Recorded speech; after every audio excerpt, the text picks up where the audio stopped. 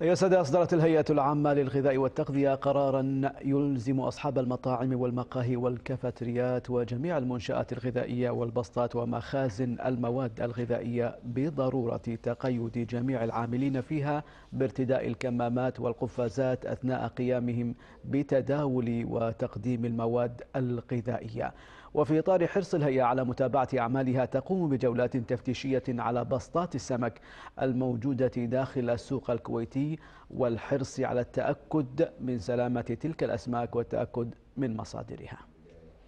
في موضوع الشائع اليوم طالع موضوع بالسوشيال ميديا إن الأسماك اللي دخلت الكويت في في بلدان من غير نذكر أساميها هي بلدان موبوءة.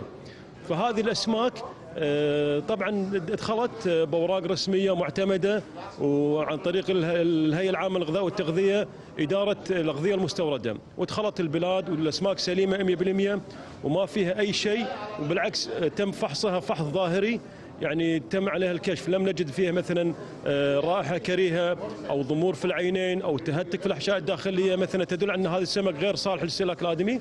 بالعكس الزبيدي كان مضبوط ونظيف و100% علما بأن تم أخذ منها العينات لإرسالها إلى مختبر وزارة الصحة للتأكد أيضا من صلاحية المادة الغذائية هي الزبيدي.